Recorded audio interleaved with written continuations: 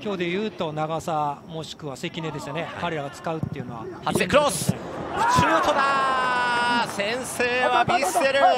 見事なクロスでしたね。そうですね。セルジ・サンペールからこの神戸にしてみて左サイドにできたスペース。仕掛けて速いクロスでしたけどね。